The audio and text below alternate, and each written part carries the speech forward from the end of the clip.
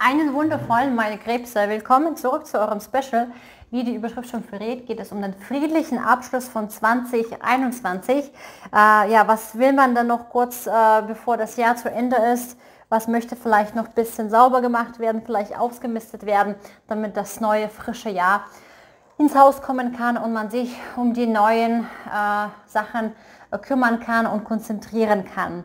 Es ist eine Kollektivlegung vorneweg gesagt, es muss nicht alles mit dir übereinstimmen. Wenn es tut, freue ich mich sehr. Äh, wenn es nicht tut, es ist auch völlig in Ordnung. Wenn du mehr in deine Themen reinschauen möchtest, dann buch gerne deine persönliche Legung. Die E-Mail dafür für die Anfrage ist unten eingeblendet und heißt post at funkyrussiango.law. Wenn du eher ein Instagram-Typ bist, dann schreib mir gerne eine DM. Ich lese alle meine Nachrichten und antworte da ziemlich schnell. Ähm, yes. Ähm, wenn du äh, für den Energieausgleich, ähm, wenn du quasi für den Energieausgleich sorgen möchtest und dich äh, für die Legung, für die Botschaften, für die Tipps bedanken möchtest, dann kannst du das auf unterschiedlichste Art und Weise tun. Ja, das nimmt auch. Kannst du es auf unterschiedliche Art und Weise, Art und Weise tun. Entweder mit einem Like, Kommentar, mit einem Abonnement. Erzähle gerne von meinen Videos, von meiner Arbeit deinen Liebsten. Teile gerne meine Videos in deinen Social Media Kanälen auf Instagram, Facebook, Telegram, WhatsApp. Ähm, alles ist äh, offen, also alles ist möglich. Vielen Dank, ich freue mich schon sehr darüber, für deine Unterstützung, für den Ausgleich, ähm, dafür, was ich hier dir jetzt gleich channel werde. Wenn du auch eine Spende senden möchtest, dann sehr, sehr gerne meine PayPal, unterstütze mich auch mit dem PayPal. Meine PayPal-E-Mail-Adresse ist unten eingeblendet. So, meine lieben Krebse, dann schauen wir mal. Und am Ende gibt es dann noch einen Blick in 2022, um dir quasi nochmal aufzuzeigen, warum es so wichtig ist, sich mit diesen Themen zu beschäftigen. Nun verbinde ich mich mit der Krebsenergie und möchte gerne wissen, was hat Krebs nochmal aufzuräumen um das neue Jahr 2022 begrüßen zu können, leichter begrüßen zu können. Ich liebe euch, meine lieben Krebse da draußen. Ich liebe mich, ich liebe das, was ich tue. Ich liebe dich, meine wundervolle Quelle. Nun freue ich mich sehr ja, auf die Botschaften. Los geht's. Und ich fange mit diesem wundervollen Deck an. So. Okay, was ist die erste Karte? Was ist erstmal, was, was hat das hier mit 2021 auf sich zu tun? Okay, ähm, es ist etwas in Stocken geraten. Es ist etwas, ähm, ähm, ja, eine gewisse Kommunikation. Vielleicht gab es Kommunikationabbruch zu einer Person, zu einer Vertrauensperson, äh, zu Personen, äh, wo man eigentlich immer nach dem Rat gefragt hat. Das kann sein, auch äh, es kann eine Familien, also ein Familienangehörige sein. Äh, es könnte auch ein Vater sein. Auf jeden Fall jemand, wo man äh, früher immer darauf hingeschaut hat. Ähm, da gibt es auf jeden Fall so ein bisschen so. Äh, und um dieses Thema geht es. Es geht um, diese, um diesen Kommunikationabbruch. Wir schauen mal, was es auf sich so hat. Und ähm, ja, es kann auch eine andere Person werden. Wir schauen das mal rein. So. Worum geht es hier? Ja. Also man hat sich dieses Jahr oder generell, man hat, okay, also muss nicht auch nicht unbedingt, also das kann sein, dass es unter anderem Kontaktabbruch zu einer Person bedeutet, äh, was aber auch bedeuten kann, ähm, dass man aufgehört so zu kämpfen, dass man ähm, nicht mehr mit Worten kämpft, dass man nicht mehr mit seiner Arbeit kämpft. Also bis jetzt war das Gefühl, dass man immer allen was beweisen muss, dass man äh, sich die Dinge erkämpfen muss und man hat irgendwann erkannt, nee, äh, das will ich nicht mehr, das kann ich auf Dauer gar nicht mehr, mein Körper hält es gar nicht aus und es kehrt so eine neue Art von ähm, Sichtweise, was Harmonie im Leben ist. Früher dachte man, Harmonie ist, wenn man hart von früh bis abends arbeitet, von Montag bis Freitag, vielleicht Montag bis Samstag, vielleicht sogar Montag bis Sonntag und irgendwann, wenn man nicht mehr kann, bucht man sich Urlaub. Und irgendwann sagt man, nee, ähm, das kann so nicht mehr weitermachen, weitergehen, denn es ähm, wirkt sich auf meine Kreativität. Wenn du in einem kreativen Beruf arbeitest und ich erinnere mich bei den Krebsen, äh, in den anderen Legungen, in anderen Specials, habe ich das oft so diese, äh, diese, diesen Punkt Kreativität immer wahrgenommen, Verspieltheit, das war auch euer Thema. Und äh, ja, das macht, äh, diese neue Sichtweise macht etwas mit eurer Kreativität. Vielleicht verändern sich auch eure Arbeitsbereiche. Ähm, auf jeden Fall diese neue Sichtweise von Kreativ die neue Sichtweise von Harmonie ähm, wirkt sich auch auf die Sichtweise der Kreativität.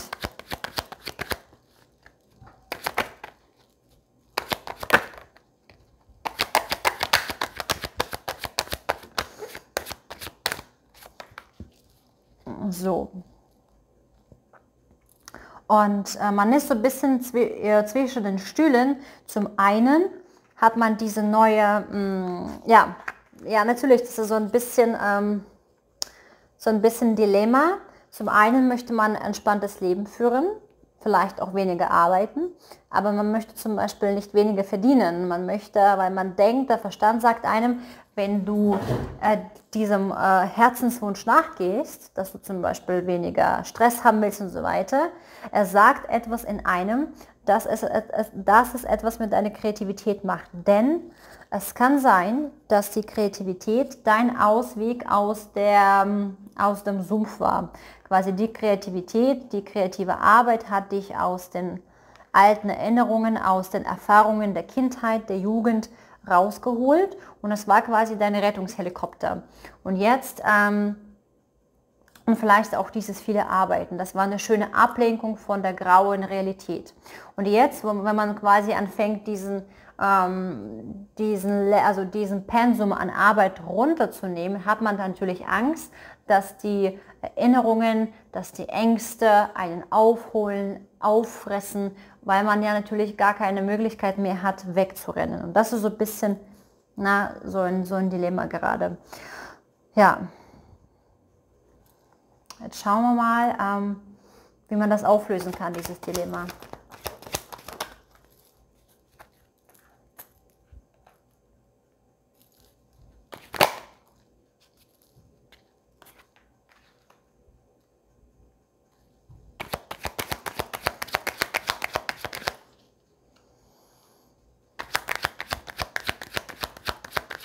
Indem man sich zum Beispiel, ähm, ja, indem man sich in die hohe Perspektive begibt, wie zum Beispiel jetzt gerade eben, wo ich hier aufgezeigt habe, wo das herkommt, indem man sich eigentlich fragt, wie bin ich eigentlich da reingekommen? Wie hat alles angefangen? Wie hat alles angefangen? Warum hat es angefangen? Warum hat das angefangen? Warum hat das angefangen? Quasi, dass man zum Ursprung kehrt.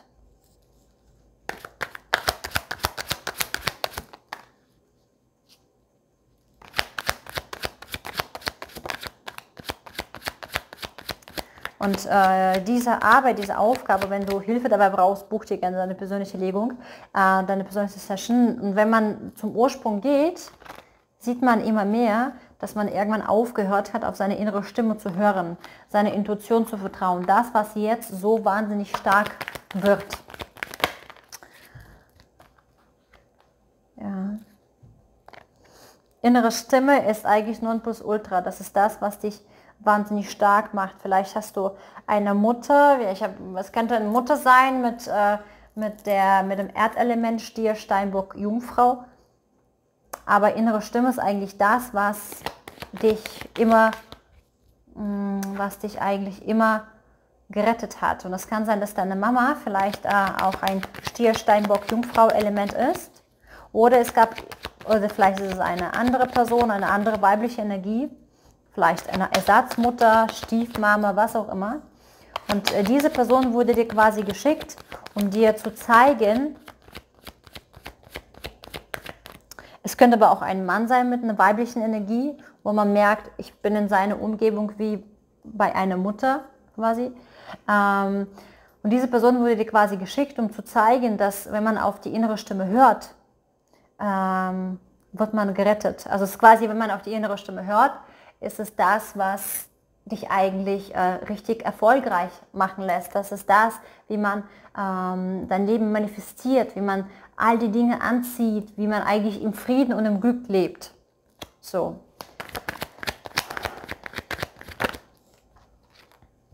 König der Stäbe, eine männliche, erwachsene Energie, äh, vielleicht dominante Energie in deiner Umgebung mit einem Feuerelement, könnte Löwe, Schütze, Widder sein. Vielleicht hilft dir diese Person dabei, äh, in das große Bild zu kommen. Vielleicht ist es ein Coach, ein Psychologe. König der Münzen. Ja, er hilft dir tatsächlich alles zu verarbeiten. Okay, darauf ist ein König der Münzen gefallen. Das kann sein, dass es tatsächlich die männliche Energie ist, wenn du eine Frau bist. Das heißt, äh, dieser Mann äh, äh, mit, der er mit dem Erdelement hat vielleicht Sch ähm, Schütze Löwe wieder in seine Chart, aber es ist jemand, ähm, könnte auch ein Erdelement sein, das ist quasi eine männliche Energie, doppelt ein König, mh, auf doppelte Hinsicht quasi hilft dir dieser Mensch, ähm, deinen Wert wieder zurückzuholen, dich quasi nochmal zu sehen, äh, deinen Wert zu sehen, deine Perspektiven zu sehen, deine Chancen zu sehen und eigentlich deine Persönlichkeit nochmal richtig zu sehen. Und ähm, hilft dir dabei, so diese Analyse durchzuführen. Das kann tatsächlich ein, ähm, ja, so eine Art ja, Coach sein, das kann Business Coach sein, das kann Persönlichkeitscoach sein, das kann Mentor sein, der quasi so ein bisschen Vaterrolle übernimmt und ähm, dir dabei hilft aufzuräumen. Also ich sehe, du bist hier damit nicht allein. Das Leben schickt dir quasi Menschen, die dir dabei helfen, diesem, ähm, diese, diese Aufgabe quasi ähm, durchzu, also das zu erledigen, nicht allein zu, das machen zu müssen. Und dann haben wir ein weiteres Thema, du wünschst dir auch entspanntes Leben, du wünschst dir vor allem auch aufregendes Leben.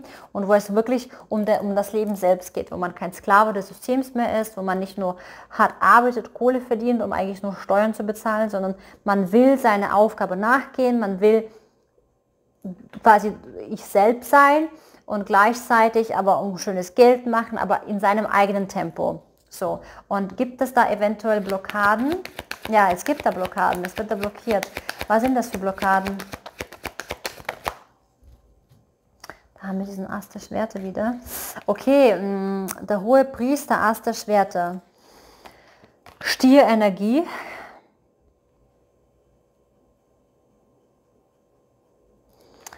Vielleicht ist es eine o, ein Opa, äh, eine, ja hier auch vielleicht auf der anderen Seite eine männliche Energie. Vielleicht ist es ein Geschäftspartner, der vielleicht ein bisschen älter ist. Das könnte sein, dass es ein Auftraggeber ist, ähm, der, bisschen, der ein bisschen mehr Macht hat. Und dieser Auftraggeber entscheidet gerade über deinen Kopf. Ist quasi jemand, der so den machen möchte. Ähm, hier, aber dein, dein Jahr ist eigentlich äh, schwer drunter. Du willst nicht mehr kämpfen, du willst Entspanntheit. Das heißt, es gibt jemanden an deiner Seite mit, einem, mit einer Stierenergie, äh, so ein bisschen, bisschen älter schon, noch älter als dieser Mentor, der quasi so ein bisschen äh, vorgibt, äh, der Gott äh, zu sein und über alles herrschen zu können. Und du merkst aber, nee, das, ich will das nicht so. Und wie kann das aufgelöst werden? Wie kann das überwunden werden? Ja, indem man seinen eigenen Wert nochmal neu sieht. Über eine Kommunikation übrigens. Es kann auch eine E-Mail geschrieben werden. Ja, tatsächlich über eine Kommunikation von deiner Seite, indem du erst einen Schritt machst und eigentlich über deine Wünsche, Vorstellungen sprichst. Ja, du bist hier derjenige der, oder diejenige, der das auflösen darf. So. Das ist quasi, äh, ja, das ist quasi so das Bild. Und jetzt schauen wir mal nochmal rein, warum lohnt sich das? Warum muss ich jetzt quasi etwas noch tun, wo ich eigentlich, ich will doch gar, eigentlich gar nichts tun, ich will entspanntes Leben, warum muss ich hier noch was machen? Was erwartet mich in 2022? Dafür ziehe ich nochmal die Karte aus diesem wundervollen Deck. Ach, schau mal, Sovereign of Swords. Ja, ähm, es geht weiter. Es geht weiter mit den Schwerten, es geht weiter mit klaren Gedanken, mit klarer Kommunikation, mit klarer Ausdrucksweise, aber diesmal ganz souverän. Man hat äh, dieses Jahr aufgegeben, das war ganz gut. Man hat komplett alle Schwerter niedergelegt und man hat gesagt, nee Leute, sorry, also ich ziehe mich jetzt komplett zurück. Ähm, ich will mich gar nicht ich will mich gar nicht äußern. Vielleicht hat man sich auch aus dem Social Media zurückgezogen, so ein bisschen aus dem gesellschaftlichen Leben. Na klar, war ja auch anders dieses Jahr war ja nicht so viel drin. Und das war aber ganz gut so, äh, indem man sich Zeit gewonnen hat, um erstmal alles zu sortieren. Aber im nächsten Jahr geht es mit dem Schwert weiter. Das heißt, das Schwert schaut 2022 wieder nach oben, aber auf eine ganz, ganz andere Art und Weise. Wir haben hier einen souveränen. Bis jetzt dachte man, dass die Gedanken einen niederschmettern können. Deswegen hat man das Schwert erstmal lieber zur Seite gelegt, damit das Schwert einen nicht verschlägt.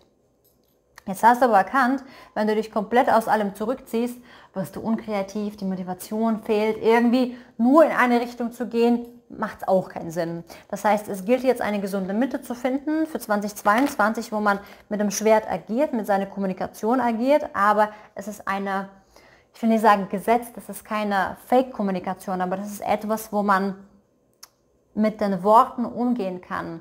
Denn das bedeutet zum Beispiel auch, wie spreche ich zu mir selber? Äh, wie welche Worte verwende ich zum Beispiel zu, mich, zu mir selbst? Ähm, spreche ich äh, vernichtend, spreche ich ähm, unterdrückend oder spreche ich lobend, äh, anhimmelnd, äh, liebend. Und ähm, das ist quasi das, wo man anfängt, ähm, wo man Schwert quasi wieder in die Hand nimmt und sagt, okay, Schwert ist eigentlich neutral. Das ist wie Geld, wie Macht, was auch immer. All diese Dinge, Social Media ist neutral, Matrix ist neutral, alles ist neutral. Alle Geschehnisse sind neutral.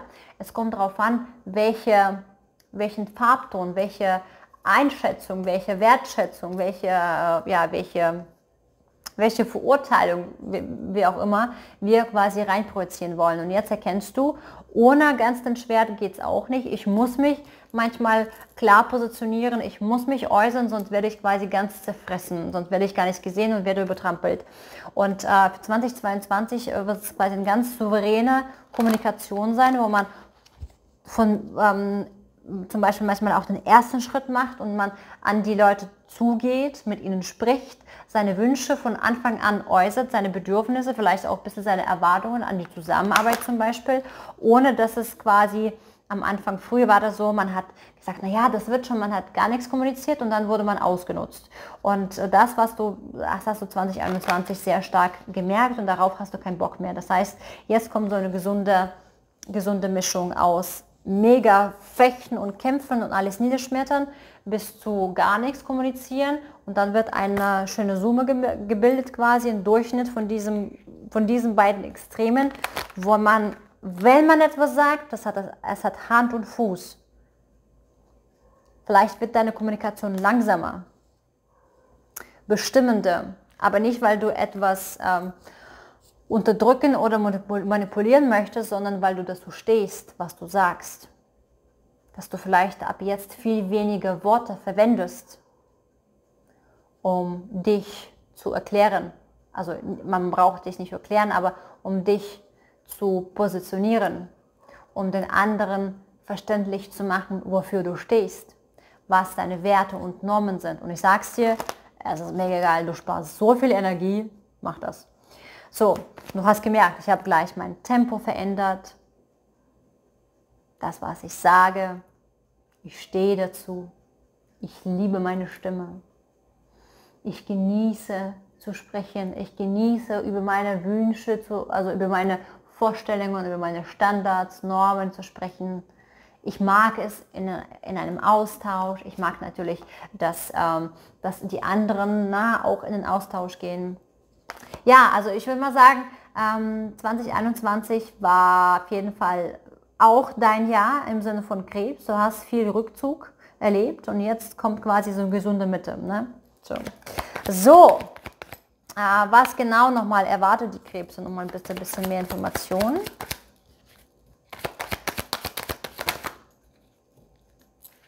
Oh ja, das bedeutet, äh, wenn man quasi seinen Wert kennt, wenn man weiß, dass man äh, gar nicht mehr fechten muss, sondern es genügt eines Wortes, um entweder Nein oder Ja klar zu kommunizieren, ist man natürlich für viel mehr Dinge offen.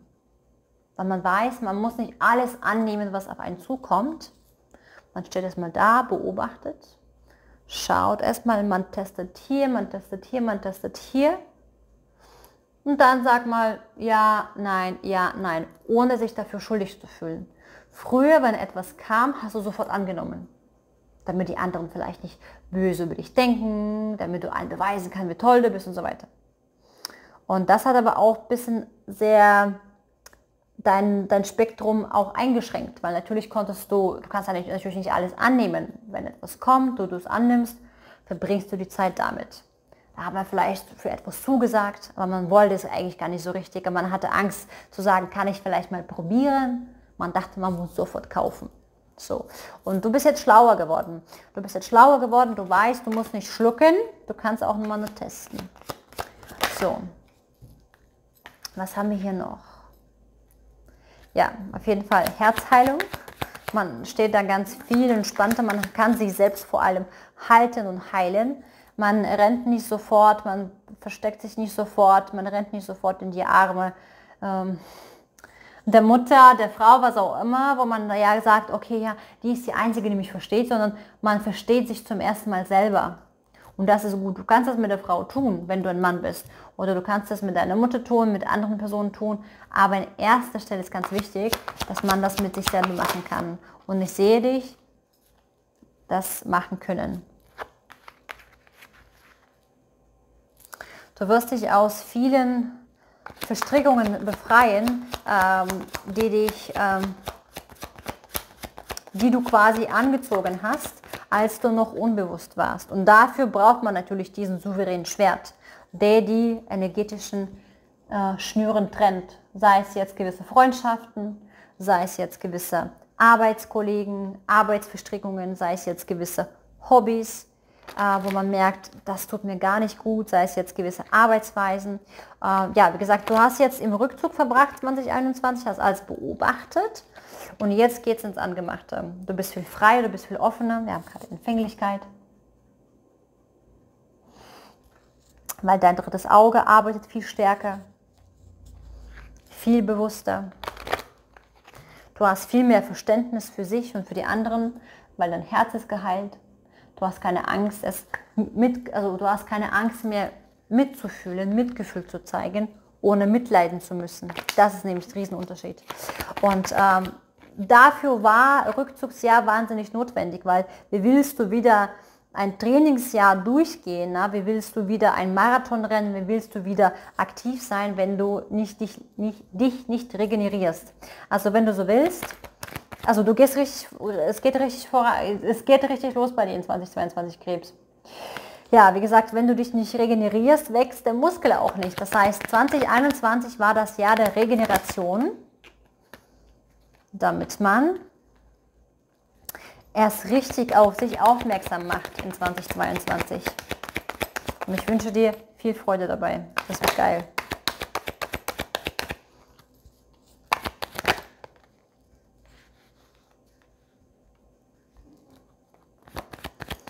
Und ähm, gewisse Konditionierung wird auch sein, dass man zum Beispiel sich nur für eine Sache entscheiden musste.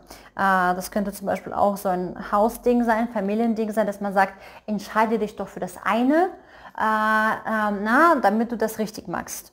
Richtig machst. Und ähm, der Durchbruch wird sein, dass man sagt, nee, ich will und kann nicht nur das eine machen, ich will beides.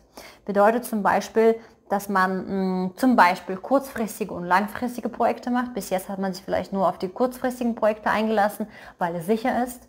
Es kann auch sein, dass man nicht nur ähm, humorvollen Themen beleuchtet in seinem Job, sondern auch in die Tiefe geht. Dass man äh, zum Beispiel nicht nur die männliche, sondern auch die weibliche Seite bedient. Nicht nur die weibliche, sondern auch die männliche. Wenn du zum Beispiel ein Artist bist, Schauspieler bist, dass du vielleicht äh, tatsächlich zwischen Geschlechten switchst, weil du merkst, dass es muss im Ausgleich passieren. Das heißt, 2022 ist das Jahr der Balance sowieso. Ja, es wird alles in Ausgleich gebracht. Du hast beide Extremen ähm, erlebt. Ja, totales Performen, sich komplett vergessen, totalen Rückzug, alle anderen komplett vergessen. Jetzt merkst du, du willst eine gesunde Mitte finden. Und äh, 2022 wird in, der, in diese gesunde Mitte stattfinden, wo man ähm, von all dem, was man möchte, so viel nimmt, wie sich gut anfühlt, aber man sich, nur, sich nicht nur um eine Sache fokussiert, sondern das in einer gesunden, äh, in einer gesunden Balance äh, quasi durchführt. Bedeutet, du machst vielleicht viel mehr Urlaub, du arbeitest weniger, dafür machst du endlich ausreichend ähm, Auszeit, ausreichend Regeneration, weil du hast gemerkt, Re Regeneration ist wahnsinnig wichtig. Dein Körper hat sich verändert, du siehst gesünder aus durch diesen Rückzug. Ähm, Energie ist viel mehr da, also diese ganzen Dinge. Also du siehst, es macht äh, Spaß, es macht Sinn. Ähm, Durchstart 2022, dafür Reset im 2021 notwendig gewesen. Ja, eine wahnsinnig spannende Legung. Vielen Dank fürs Zuschauen, danke für deine Unterstützung. Ich wünsche dir alles, alles Liebe. Und wir sehen uns beim nächsten äh, Reading, äh, nächstes Special. Da geht es um Januar 2022 speziell für diesen Monat. Danke fürs Zuschauen, danke für deine Unterstützung. Wir sehen uns. Bis dann. Ciao.